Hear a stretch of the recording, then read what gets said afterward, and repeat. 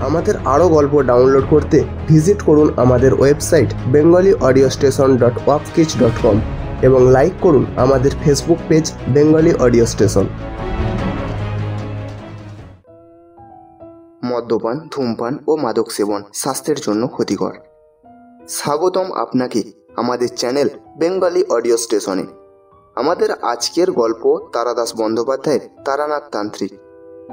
তারাদাস বন্দ্যোপাধ্যায়, বিভূতিভূষণ বন্দ্যোপাধ্যায়ের একমাত্র পুত্র। তার জন্ম ব্যারাকপুরে উনিশশো সাতচল্লিশ সালের পনেরোই অক্টোবর।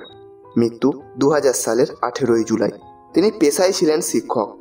তার লেখা উল্লেখযোগ্য গ্রন্থগুলি হল কাজল ও কাজলের পরের পর্ব তৃতীয় পুরুষ। তারানাথ তান্ত্রিক নামক এই অসামান্য চরিত্রটি তারই সৃষ্টি। আজকের গল্পটি আমরা নিয়েছি মিত্র ও ঘোষ থেকে প্রকাশিত তারানাথ তান্ত্রিক এই বইটি থেকে। শুনতে থাকুন আমাদের আজকের গল্প তারানাথ তান্ত্রিক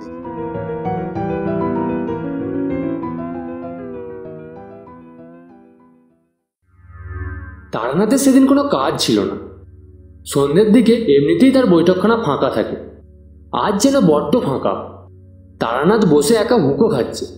আমাদের দিকে খুশি হয়ে বলে উঠল আরে এসো এসো। তোমাদের কথাই তো ভাবছিলাম। কিশোরী বলল হঠাৎ আমাদের কথাই ভাবছিলেন যে বড়? হঠাৎ নয়। আজ সারাদিন কোনো কাজ নেই বুঝলে? অন্য দিনে কুষ্টি করতে না হোক অন্তত হাত দেখতে দু চারজন এসেই যায়। দিনের খরচটা যা হোক করে বুঝলে না? আজ একটা পয়সা আমদানি নেই। হাত পা কোলে করে বসে বিরক্ত ধরে যাচ্ছিল। হ্যাঁ তোমরা আশায় বাজলো। বললাম কিন্তু আমরা তো খদ্দের নই। আরে নাই বা হলে। পয়সা না পাই। আড্ডা দিয়ে তো বাঁচবো। তোমাদের তো বলেইছি, পয়সা কম উপার্জন করিনি জীবনে। বৈষয়িক লোক হলে অনেক জমিয়ে ফেলতে পারতাম। আর পয়সার মায়া নেই আমার। দিন চলে গেলেই আমি খুশি। যাবার সময় কটা পয়সা গাটি নিয়ে যেতে পারব বলে মনে করো? চারি পেয়ালায় চা নিয়ে এলো। তারানাথ পাক্কা মজলিস লোক। চা খেতে খেতে সে গল্প জমিয়ে তুলল। কিছুক্ষণ নানা বিষয়ে কথা হওয়ার পর কিশোরী বলল ভালো কথা। আজকের কাগজ দেখেছেন কি? তরুণবালা হত্যাকাণ্ডের মীমাংসা হয়ে গিয়েছে। প্রত্যক্ষদর্শীদের বিবরণ অনুযায়ী ফাঁসির হুকুমও হয়ে গিয়েছে দেখলাম। খবরটা দেখেছি বটে। কিছুদিন আগে কলকাতার এক কুখ্যাত পাড়ায় তরুবালা নামে একটি পতিতা মেয়ে খুন হয়। খুনি কোনো সূত্র রেখে যায়নি। তাই নিয়ে কদিন কাগজে খুব হইচই হয়েছিল। আজ কাগজে বেরিয়েছে খুনি ধরা পড়ার খবর। অপর একটি পতিতা মেয়ে বাথরুমে লুকিয়ে থেকে সমস্ত দৃশ্যটা দেখেছি। এতদিন প্রাণের ভয়ে কিছু বলেনি। কিন্তু পুলিশি জেলার চাপে আর বিবেকের তাড়নায় সে শেষ পর্যন্ত সব স্বীকার করেছে। বস্তুত তার বিবৃতিকে নির্ভর করেই অপরাধীর শাস্তি হয়ে গেল। সত্যি, মেয়েটার দোষ নেই। প্রাণের ভয় সবারই আছে। তাছাড়া চোখের ওপর একটা খুন দেখলে মনের অবস্থা কেমন হয়? কে জানে? একজন মানুষকে পাঁচ হাতের মধ্যে মেরে ফেলা হয়েছে। উহ ভাবা যায় না। সত্যি বলেছ। খুনের প্রত্যক্ষদর্শীর মনের অবস্থা কি হয় ভারী জানতে ইচ্ছে করে। কিন্তু কে বলতে পারে? তারানাথ বলল আমি পারি। আমি আর কিশোরী তারানাথের কথায় অবাক হয়ে তার দিকে তাকালাম। বলে কি তারানাথ ঠাট্টা করছে নাকি? কিন্তু সিরিয়াস ব্যাপার নিয়ে ঠাট্টা করবার লোক তো তারানাথ নয়। তাহলে কিশোরী আমার চেয়ে আগে সমস্ত পরিস্থিতি সামলে নিতে পারে। সে জিজ্ঞাসা করল কি করে বলবেন?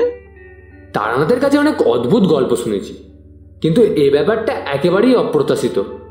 এবার কিশোরীও কোনো কথা বলল না। তারানাথ আমাদের দিকে তাকিয়ে বলল খুন হয়েছিল বটে কিন্তু সে খুনের জন্য কারও ফাঁসি হয়নি। আমি ছাড়া আরও কয়েকজন প্রত্যক্ষদর্শী ছিল। কেস আদালতে ওঠে। কিন্তু পরে যে খুন করেছিল সে ছাড়া পেয়ে যায়। শুনবে গল্পটা? তাহলে বলি। শোনবার জন্য আমাদের অনুরোধ করা সামান্যই প্রয়োজন ছিল। তারানাথ এক কলকে তামাক সেজে বলতে শুরু করল। বছর দশেক আগের কথা। তখন আমার কাছে অমরনাথ ভট্টাচার্য বলে এক ভদ্রলোক প্রায় আসতেন। ব্যক্তিগত একটা বিপর্যয়ে পড়ে আমার কাছে হাত দেখাতে এসেছিলেন। আমার কথা মতো রত্ন ধারণ করে সে বিপদটা কেটে যায়। তারপর থেকে কৃতজ্ঞতাবশতই হোক, আর আমাকে ভালো লেগে যাওয়ার জন্যই হোক, সপ্তাহে অন্তত তিন দিন উনি আমার সঙ্গে আড্ডা দিতে আসতেন। অতি অমায়িক মানুষ। আড্ডাবাজ এবং ভালো গল্প বলিও বটে। আমাদের আলাপ খুব জমে উঠেছিল। একদিন অমরবাবু, সন্ধ্যের দিকে এসে হাজির হলেন। দেখলাম উনি অন্য মনস্ক কিছু চিন্তায় মগ্ন থাকলে যেমন হয়। চা খাচ্ছে। আর হ্যাঁ হু করে আমার কথায় উত্তর দিয়ে যাচ্ছেন। কিন্তু আড্ডাটা ঠিক জমছে না। এক সময় বলে ফেললাম, আপনার কি হয়েছে বলুন তো? কিছু কি ভাবছেন? অমর ভট্টাচার্য এক মুহূর্ত কি ভাবলেন? তারপর বললেন, ভেবেছিলাম বলব না। কিন্তু এখন মনে হচ্ছে বললে আপনাকেই বলা উচিত হবে। অন্যরা হেসে উড়িয়ে দেবে। কিন্তু আপনি হয়তো বুঝতে পারবেন। বললাম খুলে বললে আমায় ভালো হয়। আমার এক বাল্য বন্ধু আছেন। তার নাম বিজয় চাটুর্যে অনেকদিন বিয়ে হয়েছে বটে কিন্তু একটি বই সন্তান হয়নি। মেয়ে সন্তান। নাম সুবালা। এখন তার বয়স তেরো। মেয়েটি দেখতেও খুব সুন্দরী। পড়াশোনাতেও খুব ভালো। বিজয় প্রাচীনপন্থী গোড়া লোক নয়।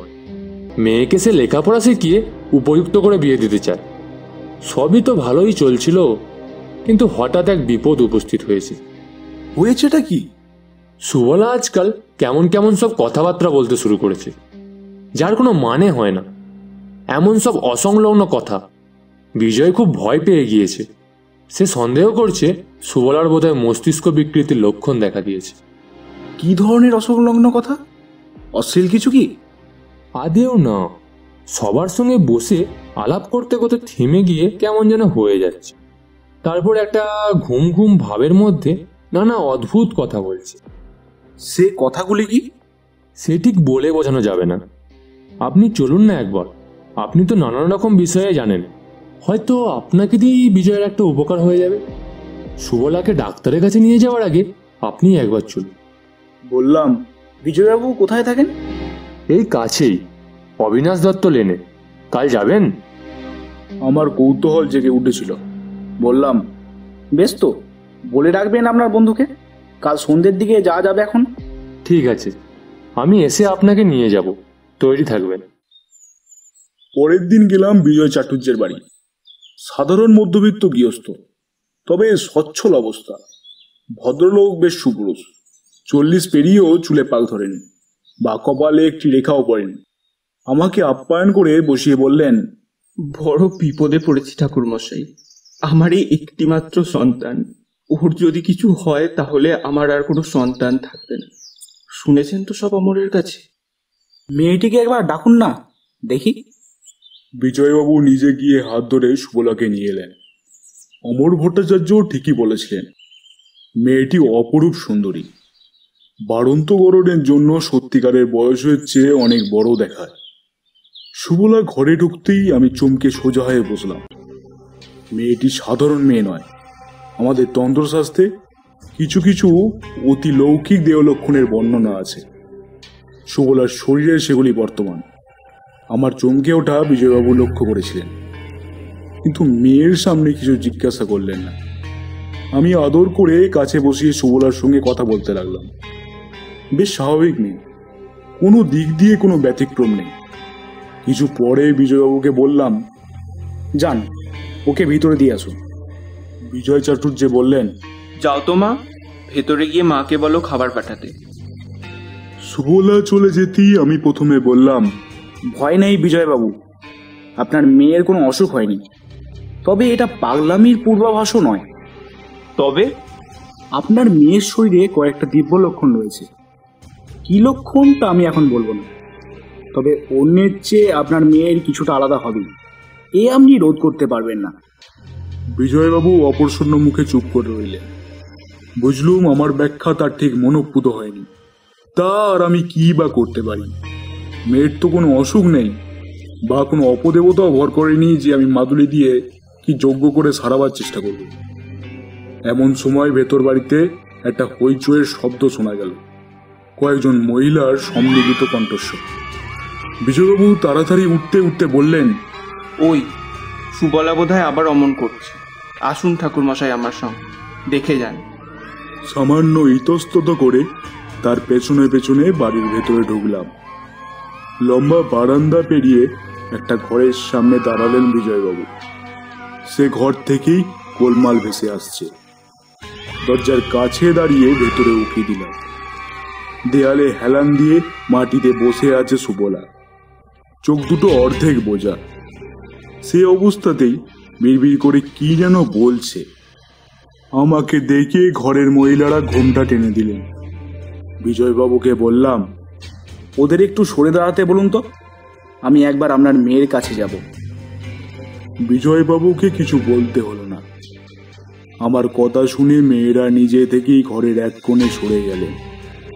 আমি গিয়ে হাঁটু গেড়ে সুবলার পাশে বসে ডাকলাম সুবলা? শুনতে পেল কিনা বোঝা গেল না। অন্তত বাইরে তার কোনো প্রতিক্রিয়া প্রকাশ পেল না।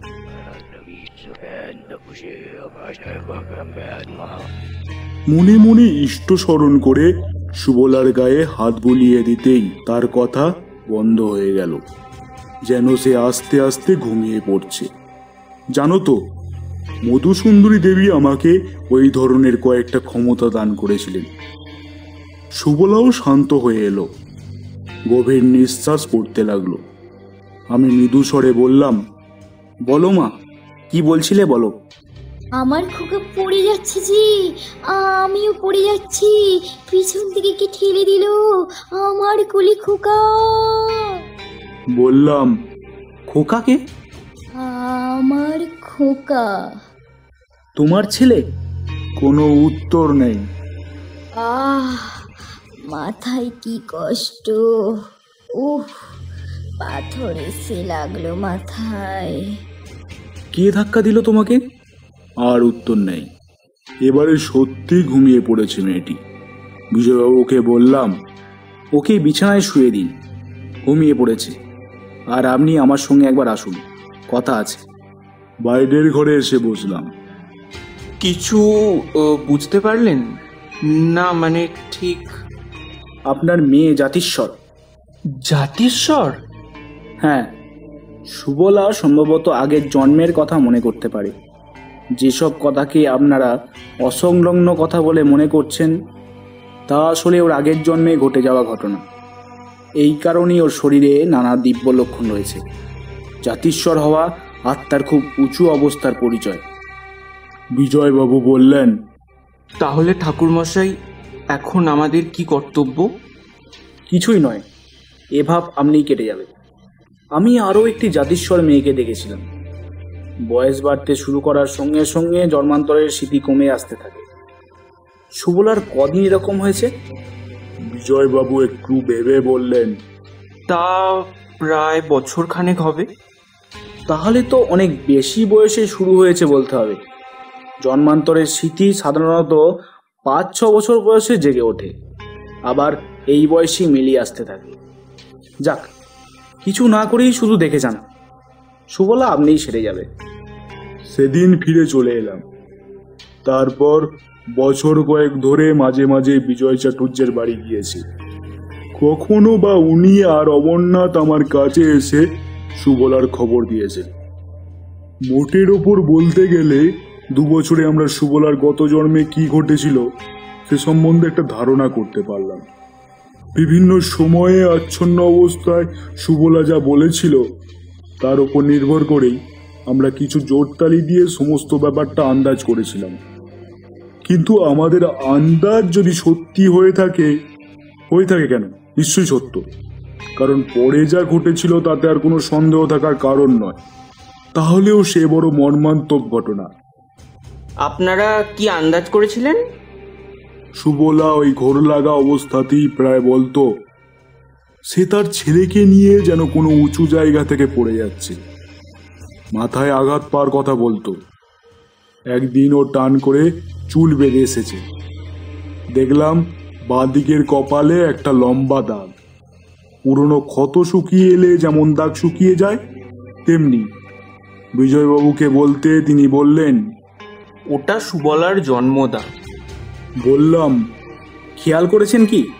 সুবলা আচ্ছন্ন অবস্থায় মাথার যেখানে আঘাত লাগার কথা বলে ওই দাগটাও ঠিক সেখানেই?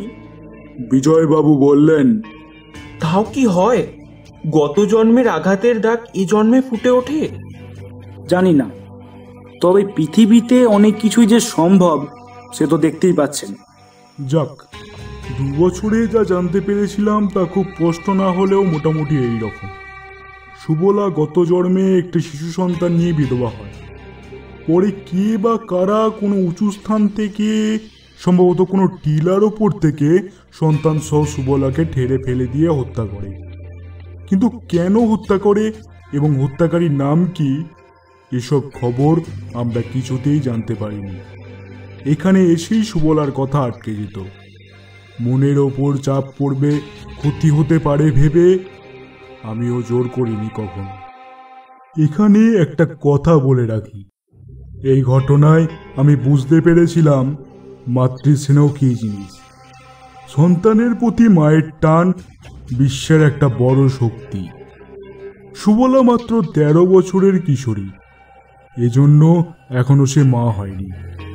কিন্তু আধো অজ্ঞান অবস্থায় যখন সে বলতো খোকা আহ, পড়ে যাচ্ছে। এই খোকাকে বাঁচাও। তখন তার মুখে যে ব্যাকুলতা ফুটে উঠত তা মাতৃ হৃদয়ের গভীর অভিব্যক্তি ছাড়া হয় না। গত জন্মের হারানো ছেলের প্রতি এই আটটি একটু কমে এলো। এইভাবে আরও বছর দুই কেটে যাওয়ার পর আস্তে আস্তে সুবলা অনেকটা স্বাভাবিক হয়ে এলো। এখন তার বয়স হলো সতেরো। একদিন বিকালে অমরবাবু এসে বললেন একটা ভালো খবর আছে। বেশ বড় রকমের ভোজ আসন্ন। কি ব্যাপার? গৃহিণীর পুত্রমুখ দর্শন করবেন নাকি? দূর আপনার যেমন সব কথাই বয়েছে যাকে। কথা হচ্ছে এই আমাদের বিজয় চাটুর্যের মেয়ের বোধহয় বিয়ে লাগল। কার? সুবলার? হ্যাঁ আগামী পরশু পাত্রের বাবা দেখতে আসছে জব্বলপুর থেকে। প্রবাসী বাঙালি পার্থও সেখানে ব্যবসা করে। বিরাট অবস্থা। মেয়ে সুন্দরী শুনে দেখতে এসছে। নইলে বিজয়ের যে আর্থিক সঙ্গতি, এরকম ঘরে তার ছেলের বিয়ে দেওয়ার ব্যবস্থা করতো না। আপনিও আসুন না ওই দিন। বিজয় আমাকে বলেছিল আপনাকে নিয়ে যেতে। একটা শুভ দিন। আপনার মতো সদ্ব্রাহ্মণ উপস্থিত থাকলে সুবলার মঙ্গলই হবে। মেয়ে দেখার দিন বিজয় চাটুর্যের বাড়ি গেলাম অমরের সঙ্গে। এসব সামাজিক উৎসব আমার ভালোই লাগে। তারপর মেয়ে দেখানোর ব্যাপার। ভালো খাওয়া দাওয়ার ব্যবস্থা থাকবেই নিশ্চয়ই। আমি ভোজন রসিক চিরদিনই। ধুতি চাদর চাপিয়ে বিকালে গিয়ে হাজির হলাম। তখনও ছেলের বাবা এসে পৌঁছাননি। বিজয়বাবু আমাদের আদর করে নিয়ে বৈঠকখানায় বসালেন। তামাক এলো, চা খাবারও এলো। বিজয়বাবু একবার সুবলাকে ডেকে এনে প্রণাম করিয়ে নিয়ে গেলেন। সুবলা মাথায় হঠাৎ যেন অনেকখানি লম্বা হয়ে গিয়েছে। চোখ মুখ যেন তুলি দিয়ে আঁকা। সত্যি সুন্দরী বটে। মাথায় হাত দিয়ে প্রাণ ভরে আশীর্বাদ করলাম। সুখী হও মা। জীবনে এমন ব্যর্থ আশীর্বাদ আর করিনি। বিজয় চাটুর্যে বললেন ঠাকুরমশাই কিন্তু আজকে রাত্রি এখানেই খেয়ে যাবেন। মাংস চলে তো? খুব চলে। আমি ঘণ্টা নাড়া পুরুত বামন নই। সবারই মন বেশ ভালো। বিজয়বাবুর মনের আনন্দ কিছুটা বাইরে বেরিয়ে আসছে। আর কেনই বা হবে না। বড় লোকের ঘরে মেয়ের বিয়ে দিতে চলেছেন। বিয়ে প্রায় ঠিকই বলতে গেলে। পাত্রের কি এক আত্মীয় মেয়ে দেখে গিয়ে ওখানে দারুণ প্রশংসা করেছেন। আজ বাবা দেখে গেলেই পাকাপাকি হয়ে যায়। সন্ধে ঠিক সাতটায় দরজায় কড়া নড়ে উঠল। বিজয় ব্যস্ত হয়ে বেরিয়ে গিয়ে একটু পরেই এক দোহারা চেহারা সুপুরুষ প্রৌঢ় ভদ্রলোককে নিয়ে ঘরে ঢুকলেন। আলাপ করিয়ে দিয়ে বিজয়বাবু বললেন ঠাকুরমশাই ইনি হচ্ছেন সনাতন মুখোপাধ্যায় পাত্রের বাবা। আমরা নমস্কার করলাম। সনাতন বাবু আমাকে প্রণাম করার ধার দিয়েও গেলেন না। অর্থ থাকলেও অনেক ব্যক্তির ব্যবহারে একটা নম্রতা থাকে। ইনি সে দলের নয় বেশ জবরদস্ত লোক। আমাদের নমস্কারের উত্তরে একটা দায় সারা প্রতি নমস্কার করেই তারা দিয়ে বললেন চটুর্য মশাই, মেয়েকে আনুন। আমার হাতে আবার বেশি সময় নেই। এখন এবার উঠতে হবে। কলকাতায় এসেছিলাম, ব্যবসার একটা জরুরি কাজে। ভাবলাম যখন একবার এসেছি দেখেই যাই। নাহলে তো এমনি তো আর বড় একটা আশা হয়ে ওঠে না। তাড়াতাড়ি করুন তাড়াতাড়ি করুন। আমার আবার তাড়াতাড়ি আছে, তাড়াতাড়ি করুন হ্যাঁ। এমন দু চারটি কথায় ভদ্রলোক বেশ স্পষ্ট করে বুঝিয়ে দিলেন। তার আর বিজয়বাবুর মধ্যে অবস্থার বিস্তর প্রভেদ। বুঝিয়ে দিলেন যে, তিনি নেহাত ব্যবসার কাজে আসতে হয়েছিল বলেই দয়া করে মেয়ে দেখে যাচ্ছেন। বুঝলাম বিয়ে হয়তো হবে, কিন্তু কুটুম্বের দিক দিয়ে বিজয়বাবুর বিশেষ সুখ হবে না। কিন্তু কন্যাদায়গ্রস্ত পিতারও তো সম্মান জ্ঞান থাকলে চলে না। বিজয়বাবু তাড়াতাড়ি করে ভেতরে গেলেন। মেয়েকে আনবার কথা বলতে। আমরা মুখ নিচু করে নীরবে বসে রইলাম। এক একজন লোক আছে যাদের সামনে কিছুতেই আড্ডা জমানো যায় না। সনাতন মুখোপাধ্যায় সেই রকমই লোক। একটু বাদেই ভেতর থেকে খাবার এলো। মেয়েদের নিজের হাতে তৈরি খাবার। সনাতন বাবু সেই সব স্পর্শও করলেন না। কেবল চা খেলেন এক কাপ। আর অনর্গল মেয়ে দেখানোর জন্য তারা দিতে লাগলেন। বিজয়বাবু মুক্তকচ্চ হয়ে বারবার সে তারা বাড়ির ভেতরে পৌঁছে দিয়ে আসতে লাগলেন। বস্তুত এমন অভব্য মানুষ আমি খুব কমই দেখেছি। এইবার ঘটল আসল ঘটনা। যে কাহিনী বলবার জন্য আমি বসেছি। একটু বাদেই যে একটা বিরাট কিছু ঘটতে চলেছে তা আমরা ঘুণাক্ষরেও জানতে পারিনি। বেশ সুন্দর পরিবেশ। একটি বিয়ের প্রাককথন হবে। কিছু বাদে একটি ভোজের আবাসও রয়েছে। কে জানতো কি ভয়াবহ ব্যাপার করতে চলেছে আর কয়েক মিনিটের মধ্যে? ইতর বাড়ির দিকে চুরির শব্দ হতে বিজয়বাবু উঠে গিয়ে সুবলাকে হাত ধরে ঘরের ভেতরে নিয়ে এলেন। আমি বেশ ভালো করে তখন তার মুখ দেখেছিলাম। অলপ করে বলতে পারি, সে মুখে তখন কোনো অস্বাভাবিকতা বা পাগলামের চিহ্ন মাত্র ছিল না। আমি সুবলাকে বসতে জায়গা করে দেব বলে উঠে সরে যাচ্ছি। অমরনাথ তো সরে বসবার উদ্যোগ করছে। হঠাৎ কেমন একটা অদ্ভুত আওয়াজে মুখ তুলে তাকি পাথর হয়ে গেলাম। সুবলার চোখ বিস্ফারিত। জিজ্ঞাংসু উন্মাদের মতো সে তাকিয়ে আছে সনাতন মুখুজ্জের দিকে। সনাতন বাবুও বিস্মিত হয়ে উঠে দাঁড়িয়েছেন। সুবলার সমস্ত শরীরের পেশি শক্ত হয়ে গিয়েছে। চোখ তীব্র কোদে জ্বলে উঠছে। ঠোঁটের ভঙ্গি ক্ষিপ্ত। বিজয়বাবুও ভয় পেয়ে কি যেন বলতে যাচ্ছিলেন। তার মনের অবস্থা সহজেই অনুমান করা যায়। অনেকদিন মেয়ে এমন করেনি। একেবারে সেরে গিয়েছিল। এই ভরসায় তার বিয়ের ব্যবস্থা করেছিলেন। আজ এত বছর পরে আবার সুবলার এমন হবে কে জানতো? তিনি বোধহয় কিছু বলতে যাচ্ছিলেন। তার আগেই ঘরের মধ্যে সুবলার তীব্র আক্রোশপূর্ণ গলা ছড়িয়ে পড়ল। ওই ওই লোকটাই আমার খোকাকে মেরে ফেলেছে। আমাকে মেরে ফেলেছে। বলে কি সুবলা? বিয়ে তো আর হচ্ছেই না কিন্তু এতে ব্যাপার অন্যদিকে অনেক দূর গড়িয়ে যেতে পারে। বিজয়বাবু ধমক দিয়ে বললেন আহ কি বলছিস? চুপ কর। কাকে কি বলা? সুবলা কাল নাগিনীর মতো ফুলছে তখন। বলছে টাকার জন্য খুন করেছিলি না? দাদাকে মেরে তোর শান্তি হয়নি? সম্পত্তি পাবার জন্য আমাকে আমার খোকাকে পাহাড় থেকে ধাক্কা দিয়ে ফেলে দিলি। বেশ। কিন্তু এবার তোকে কে বাঁচাবে? সনাতন বাবুর মুখ সাদা হয়ে গিয়েছে। অবাস্তব অসম্ভব বিভীষিকা দেখলে মানুষের মুখ যেমন হয় তিনি অস্ফুট স্বরে বলে উঠলেন বৌদি? সেই মুহূর্তে সুবলা টলতে টলতে ঘর থেকে বেরিয়ে গেল। বিজয়বাবু স্তম্ভিত হয়ে দাঁড়িয়ে আছেন। অমর ভট্টাচার্য বারবার বলছেন চলে যান সনাতন বাবু আপনি এক্ষুনি এখান থেকে চলে যান। আমি তাকে থামিয়ে দিয়ে সনাতন বাবুর সামনে গিয়ে বললাম বৌদিকে সনাতন বাবু ঠক ঠক করে কাঁপছেন। বললেন হ্যাঁ? আমি আবার বললাম বৌদি বলে আপনি কাকে ডাকলেন? কাকে ঠেলে ফেলে দিয়েছিলেন পাহাড় থেকে? সনাতন বাবু আর কোনোদিন কোনো কথা বলার সুযোগ পাননি। আমার পেছন থেকে হঠাৎ বিজয়বাবু থরথর করে চিৎকার করে উঠলেন। আমি চমকে পেছনে ফিরে তাকিয়ে দেখি সুবল একটা বিরাট বটি নিয়ে ঘরে ঢুকেছে। তার কাপড় প্রায় খুলে গিয়েছে চোখে খুনির দৃষ্টি। আরও পেছনে দৌড়ে আসছেন মহিলারা। ব্যাপারটা চোখে নিমেষে ঘটে গেল। অমরবাবু খাট থেকে নেমে বা আমি আর বিজয়বাবু এগিয়ে গিয়ে বাধা দেবার আগেই সুবলা ঝড়ের বেগে দৌড়ে এসে সনাতন মুখুজ্জের গলায় বটিটা বসিয়ে দিল। বিকৃত একটা শব্দ করে সনাতনবাবু পড়ে গেলেন।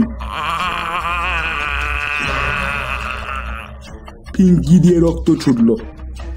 সুবলা পড়ে গেল অজ্ঞান হয়ে। মিনিট দশেক পরে মোড়ের ডাক্তারখানা থেকে যখন ডাক্তারকে নিয়ে ফিরে এলাম হ্যাঁ তখন আর সনাতন বাবুর দেহে প্রাণ নেই। ঘণ্টা দুই পরে সুবালার জ্ঞান ফিরেছিল।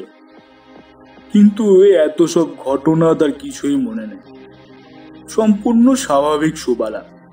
সনাতন বাবুর ছেলে কেস চেপে দেবার চেষ্টা করেছিল, কিন্তু পুলিশ ছাড়েনি।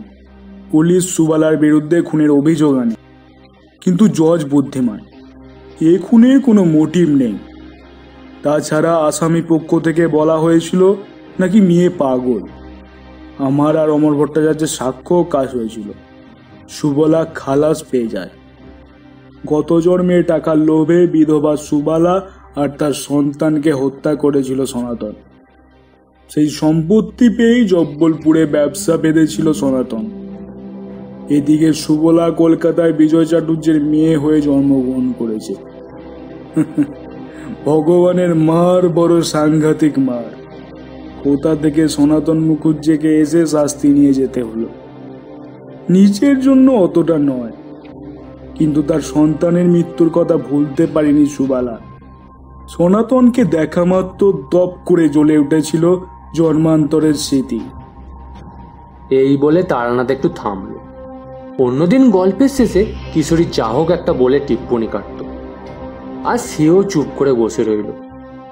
বাইরে ল্যাম্পপোস্টের আলো জ্বলে উঠছে। ঘরের মধ্যে কেমন একটা বিষণ্ণতা। তারানা তো আর কোনো কথা বলছে শেষে আমি স্তব্ধতা ভঙ্গ করে বললাম, আজ যাই, আর একদিন আসব। শুনছিলেন তারানাথ তান্ত্রিকের গল্প, রচনা তারাদাস বন্দ্যোপাধ্যায়। গল্প পাঠে ও অমর ভট্টাচার্যের ভূমিকায় সুদীপ। তারানাথ তান্ত্রিক ও সনাতন মুখুর্জের ভূমিকায় কালী কিঙ্কর, কিশোরী ও বিজয় চাটুর্যের চরিত্রে শুভদীপ, সুবালার চরিত্রে রিয়া ও গল্পের সূত্রধার আমি শুভদীপ। এডিটিংয়ে সুদীপ ও কালী কিঙ্কর।